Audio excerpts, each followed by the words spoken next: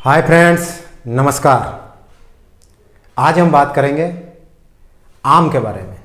अभी गर्मियों का मौसम चल रहा है और आम का सीज़न चल रहा है। और आम फलों का राजा भी कहा जाता है और सभी को आम बहुत प्रिय है।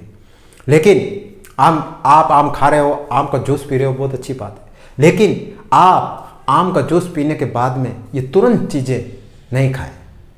या आपके लिए अगर आपने खाई है तो आपके लिए नुकसानदायी हो सकती है। आम का जूस या आम पीने के बाद में तुरंत ये चीज़ें नहीं खाएँ।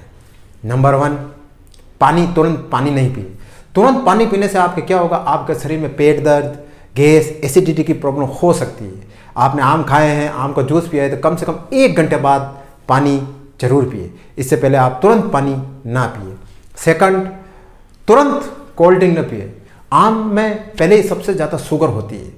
और अगर आप फिर वापस अगर आप कोल्ड ड्रिंक लेंगे तो कोल्ड ड्रिंक में भी और अधिक शुगर होती है। तो यह आपके शरीर के लिए नुकसानदायक हो सकती है। और डायबिटीज़ वालों के लिए तो और भी ज़्यादा नुकसानदायक हो सकता है। इसीलिए आम खाने के बाद तुरंत कोल्ड ड्रिंक ना पिए। थर्ड आम और जूस पीने के बाद तुरंत दही नहीं खाएँ। अगर आप तुरंत दही खाएँगे तो आपके शरीर में आम और दही मिलके कार्बन डाइऑक्साइड पैदा कर सकते हैं। और ये आपके शरीर के लिए घातक साबित हो सकती है दोस्तों। इसीलिए आप तुरंत दही नहीं खाएँ थोड़ा सा टाइम लें, एक घंटा या डेढ़ घंटा, उसके बाद आप दही ले सकते हैं। फोर्थ आपने आम खाने के बाद तीखी मिर्ची और मसाले वाली चीज़ें बिल्कुल न लें। ये लेने से आपके पेट और त्वचा संबंध, त्वचा संबंधी रोग हो सकते हैं आपको। इसलिए आप ध्यान रखें कि आप आम खा रहे हो, अभी आम का सीज़न चल रहा है, बहुत ही अच्छी बात। लेकिन ये चार चीज़ें अभी मैंने आपको बताई है कि तुरंत आम खाने या आम का जूस पीने के बाद तुरंत ये चीज़ें न लें।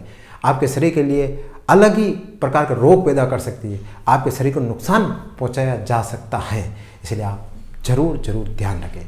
इसी के साथ आज यहीं। अगर मेरा वीडियो आपको पसंद आए लाइक करें शेयर करें और सब्सक्राइब करें ताकि हमारे आने वाले वीडियो की नोटिफिकेशन आपको मिलती रहे।